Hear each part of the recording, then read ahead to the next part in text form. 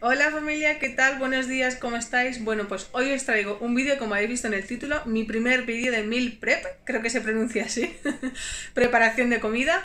Y eh, mm, voy a ver qué es lo que hago, todavía no lo tengo muy claro, voy a sacar 4 o 5 platos y espero que os guste. Venga, comenzamos. Dentro vídeo. Bueno, sí.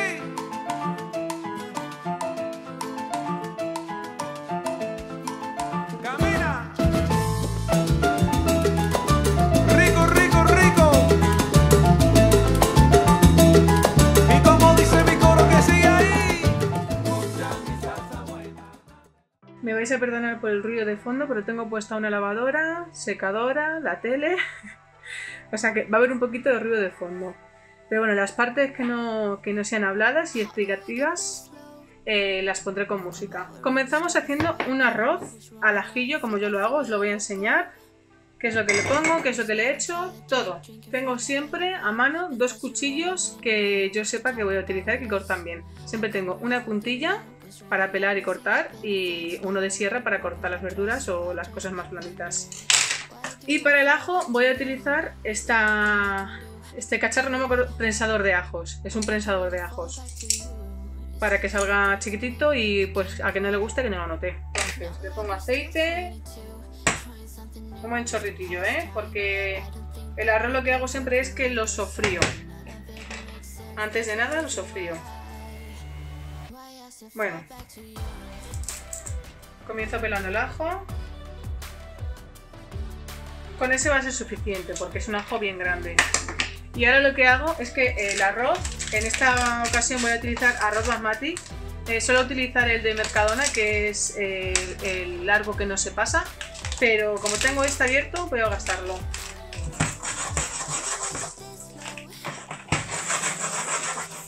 La cantidad siempre depende un poco de la cantidad de personas que seáis en casa. Nosotros somos 5, así que voy a echar bastante. Tampoco sin pasarnos, ¿eh? Yo lo pongo a ojo, no me pongo con los puñitos.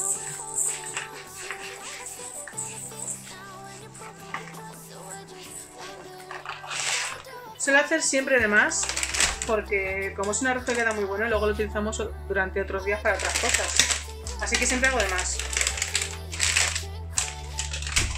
Ahora, sazonador que lo voy a echar. Pues lo que le he hecho siempre. Sal, que lo voy a rellenar ahora porque me queda muy poquito. Sal al gusto. Y a veces, no siempre, le pongo media pastilla de crema. Media o una, depende de la cantidad. Si fuera solamente para comer 5 personas, una ración para 5, le pongo media, pero como estoy haciendo más, le voy a poner una entera. El tema de la pastilla de crema no es necesario, ¿eh? Esto es al gusto, por si queréis darle más sabor. Si fuera solamente para comer un día, pues no le pondría pastilla de crema, porque sería para una ración y, y, o sea, para una vez y ya está. Pero como lo quiero utilizar para más días y a lo mejor los siguientes días, el próximo plato que, o sea, con el plato que lo vaya a comer, a acompañar, no, a lo mejor no es suficientemente sabroso, pues le doy toque sabroso con el arroz. Pero de esta manera queda más sabroso, obviamente. Espero poder explicarme bien, ¿eh? porque yo el tema mío de explicarme, pues no, mi mente queda muy bien, pero luego cuando lo hablo, pues es muy distinto. Hay gente que lava el arroz, yo no lo lavo. De normal no lo lavo nunca.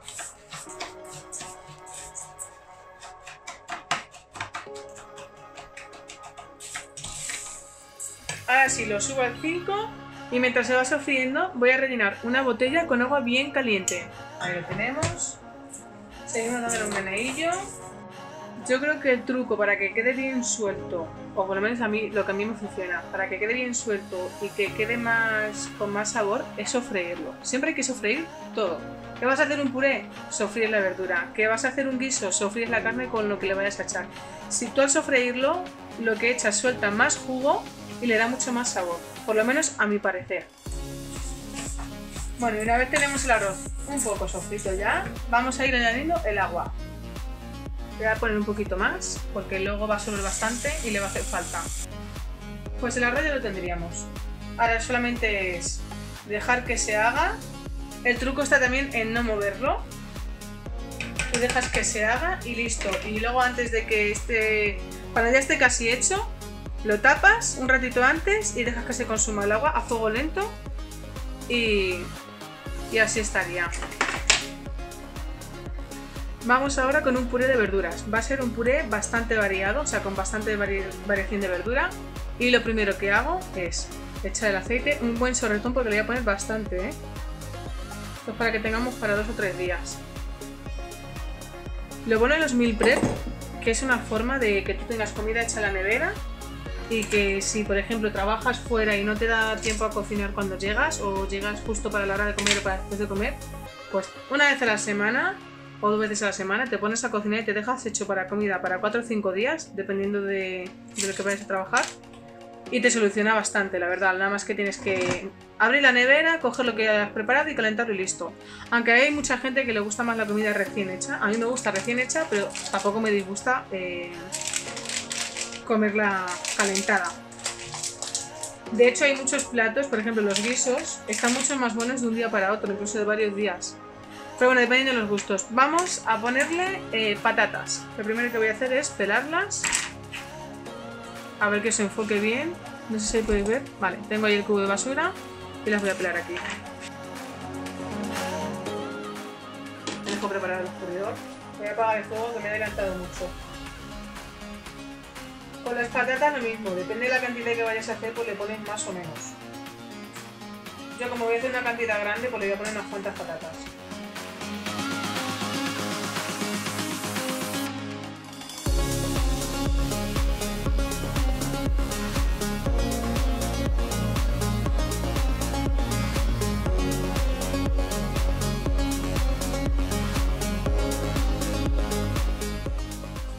Bueno, pues en total le voy a poner 1, 2, 3, 4, 5, 6 patatas, entre medianas y grandes.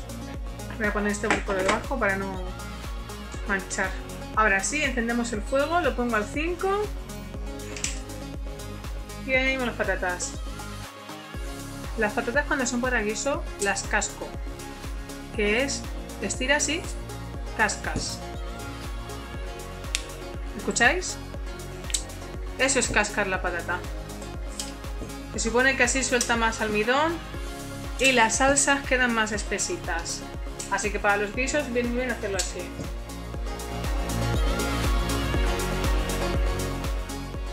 Verduras que le vamos a incluir. Vamos a empezar con un calabacín.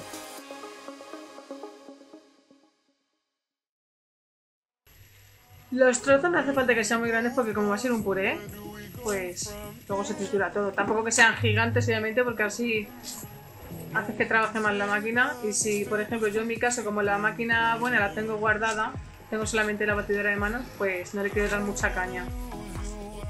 Así que no los hago muy grandes tampoco. ¿Qué más cosas le voy a incluir? Zanahorias. Voy a poner tres unidades. Dos grandecitas y una más pequeña.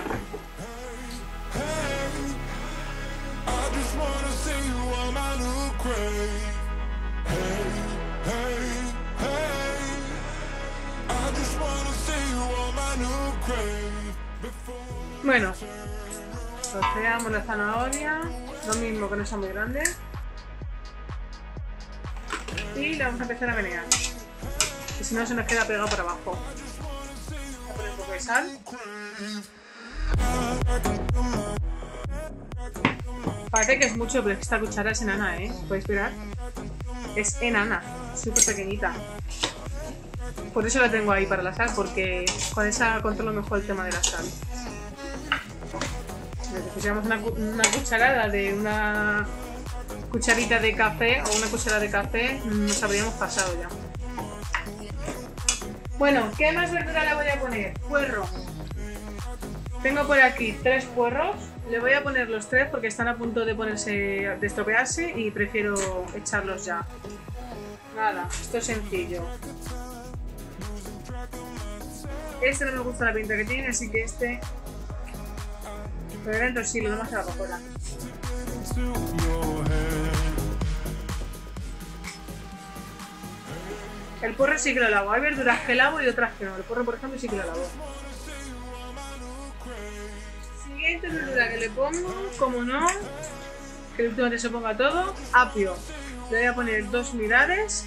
Este también la voy a lavar. La corto, le quito las tiras estas que podéis ver que sale súper bien. Bueno, aquí este que está un poco más. No tenéis más que hacer así. Pellizcáis un poquito y sale.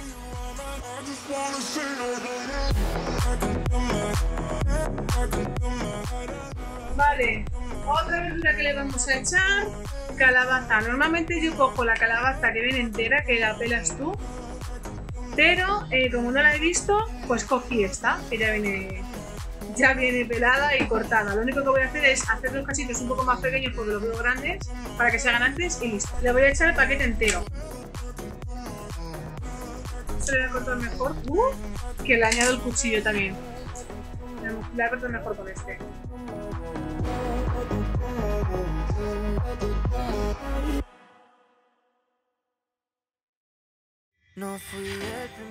Me faltan tres cositas que le voy a poner, que una de ellas va a ser dos dientes de ajo, otra de ellas va a ser espinaca y cebolla. La cebolla se la voy a echar ya.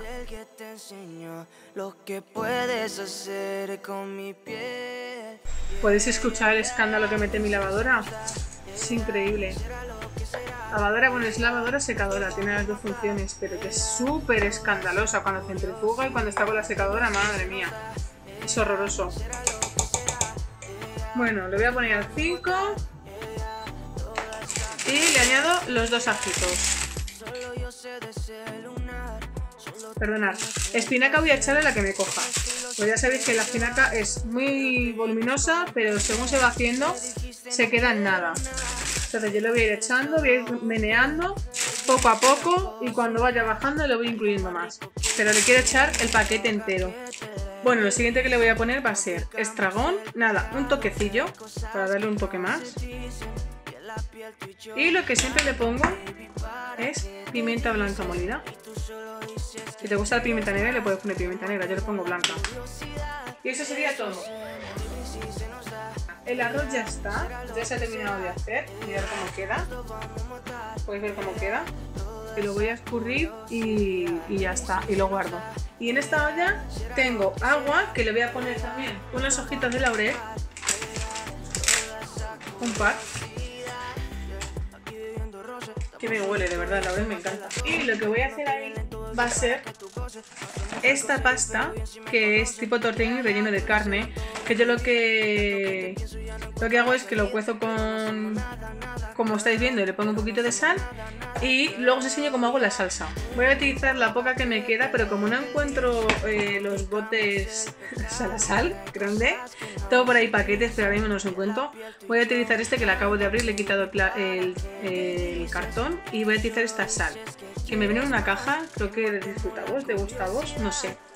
Bueno, pues le pongo un poquito de sal. Ah, qué tan molesto.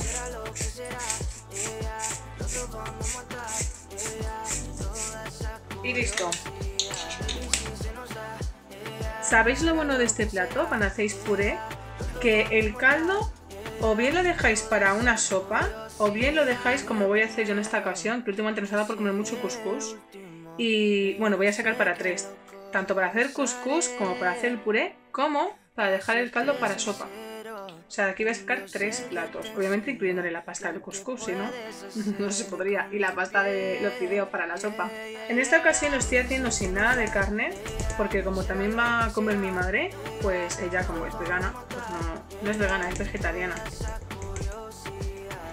Cuando le pongo carne, pero si vosotros coméis carne, no tenéis alguien a quien no lo coma, le podéis poner un huesito de jamón o un trozo de jamón, una punta.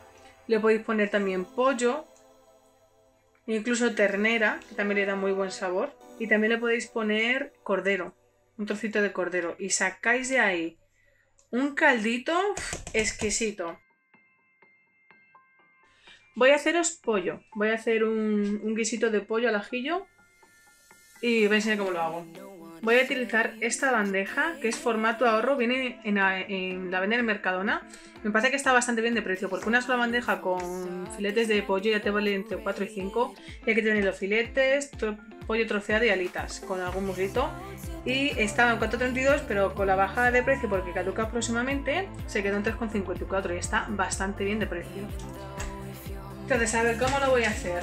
Una olla grande, la secamos bien porque se me ha quedado un poco de agua.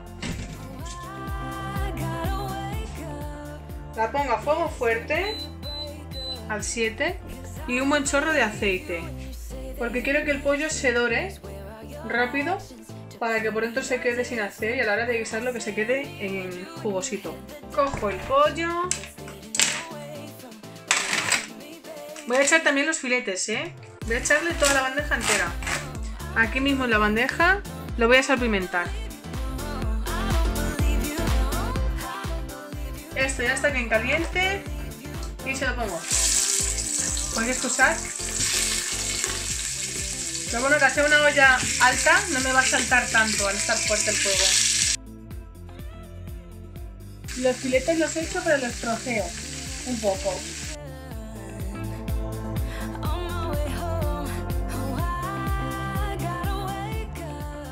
Voy a poner un poquito más de aceite que ya se ha chupado todo. Como podéis ver estos ajos son grandotes, así que con dos voy a tener suficiente. Realmente después del ajillo tiene que saber ajo. Os voy a enseñar lo que le he hecho ahora. Le he hecho un chorro de vinagre de vino blanco, un buen chorro.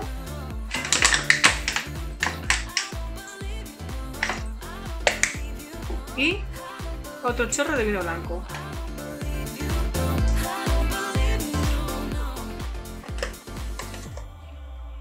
Y ahora cuando se haya evaporado un poco el vino, le ponemos agua, lo tapamos y dejamos que se guise también, que se guise solito. Bueno, por aquí ya veis cómo va este puré. Ya está casi casi. Igualmente yo lo voy a dejar un rato más porque me gusta que la comida se tire un buen tiempo haciéndose. Cuanto más tiempo, más sabor se saca, más juguito. Lo dejaré un rato más y enseguida volvemos. La pasta Ahí va, casi casi, no le falta nada ya. Voy a pasar un ratito, le voy a poner agua al pollo para que se termine de hacer. Que le cubra un poquito.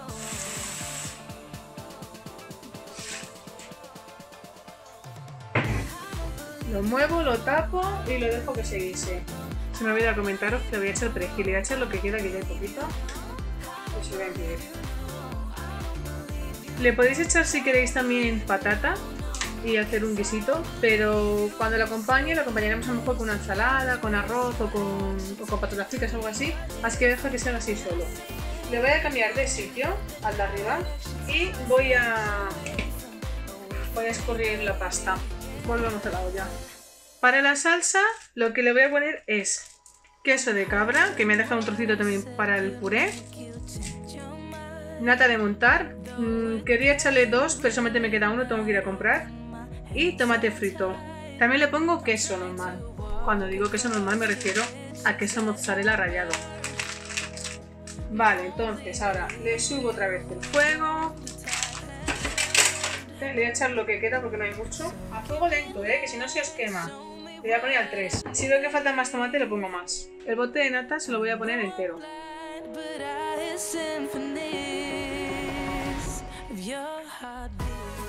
Voy a mezclar las dos, la nata con el tomate. Por aquí se me ha quedado un cachetín de hoja.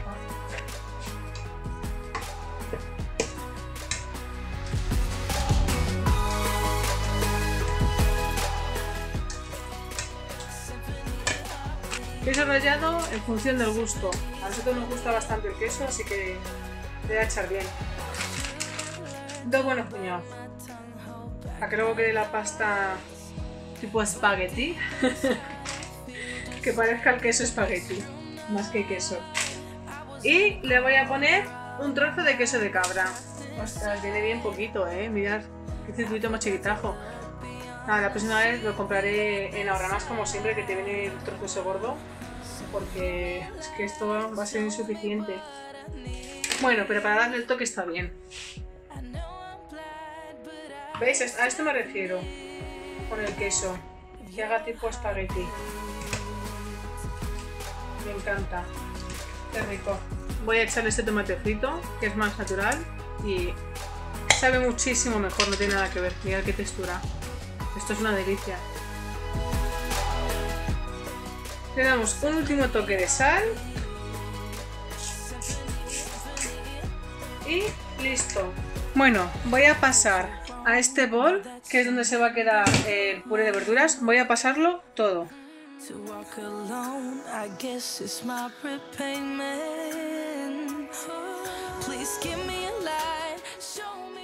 Si queréis podéis dejar un poquito, que es lo que voy a hacer yo. Voy a dejar ese poquito para la sopa, para que no sea solamente caldo. Y ahora lo que hago es que voy a batir el puré. Y voy a dejar alguna patatilla más. Que sea una sopa consistente. Así. ¿Habéis probado alguna vez la sopa con, con verdura? Está súper buena. A eso mismo, yo voy a apartar un vaso para el tema del couscous, pero lo que sobre le añadís fideos y queda una sopa, como yo digo, sopa guiso, muy buena. Bueno, batimos.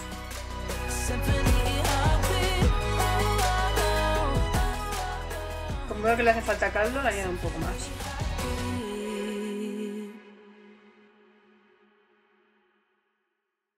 Comprobamos que esté todo bien batido, que no nos dejamos un trocito. Y para mí está perfecto. Voy a añadirle. A ver, que no se caiga. Voy a añadir el queso. Le voy a poner el queso de cabra de antes.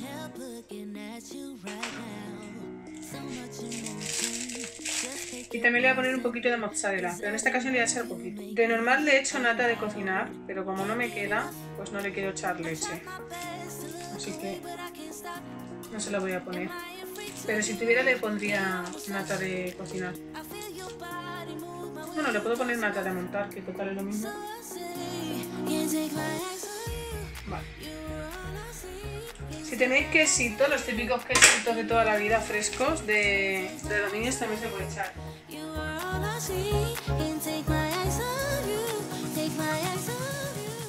Pues listo, ya lo tenemos. Probamos de sabor para ver si hay que añadirle algo más. Le voy a poner un poquito más de sal, un pelín. No mucho más, ¿eh? es un pelín solo. Mmm, está delicioso. Voy a hacer también el couscous, también lo voy a dejar en este bol para no tener que buscar nada luego. Y voy a utilizar la medida de este vaso para no hacer mucha cantidad. Porque es cierto que con estos vasos, con estos vasos sale para muchísimas personas. Como se infla tanto luego, esto es como el arroz. Bueno, pues le pongo un vaso entero, hasta ahí. Y ahora caldito. Pues lo he hecho entero, que llegue por todo. Y le voy a poner un poquito más. A mí me gusta ponerle un vaso y medio más o menos. No os preocupéis por el tema de la sopa, porque ahora le pongo aquí más, más agua y le pongo un poquito más de sal y listo. Lo único, a este último vaso sí que le pongo más sal, porque el couscous no deja de ser pasta y si no se queda soso. Entonces le voy a poner más sal si queréis especiarlo, ahora es el momento, porque luego no admite nada. Entonces lo que yo hago, que al propio caldo, ahora le pongo también ajo en polvo, esto es al, gusto, ¿eh? Y le pongo un toque más de pimienta. Le damos un pequeño meneo, con esta pajita mismamente. Y le voy a poner también un chorro de aceite de oliva, porque si no luego no admite nada. Así va a quedar más suelto. Ahora sí, le damos buen meneo y que se reparta por todas partes igual. Ahí.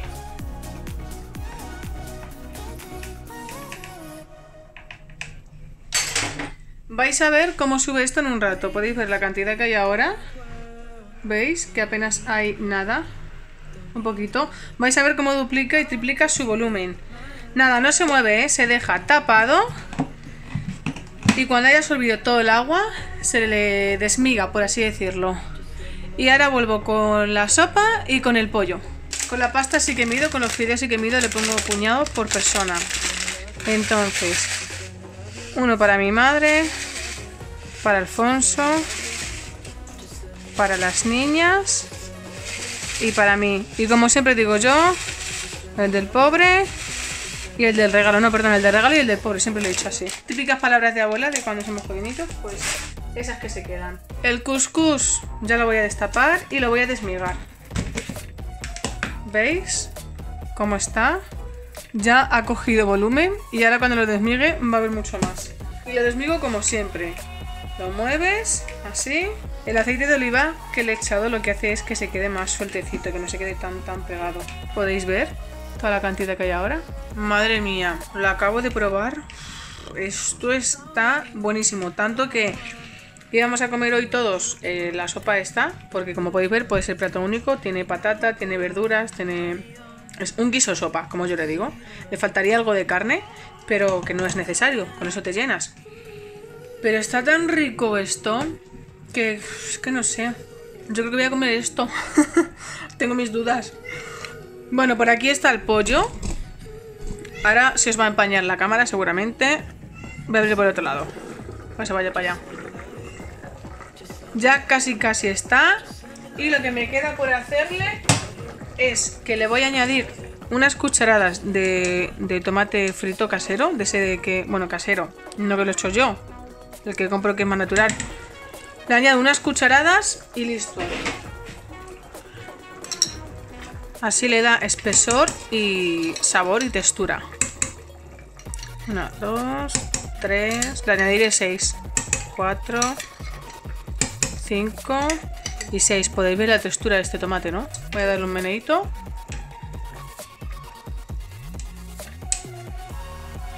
Es pollo de ajillo a mi manera, como podéis ver, cada uno en su casa ya sabéis que según los gustos lo hace de una forma u otra.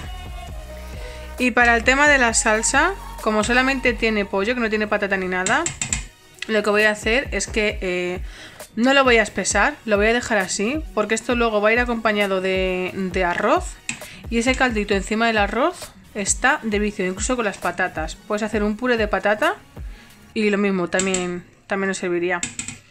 Enseño el resultado final de todo. Todo final, arroz que está bien sueltecito, la pasta, couscous, la crema de verduras también. Aquí terminando de hacerse. Y el pollo. Bueno, pues este ha sido el resultado. Espero que os haya gustado.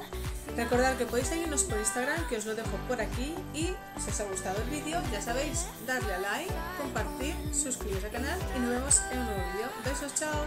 Bye.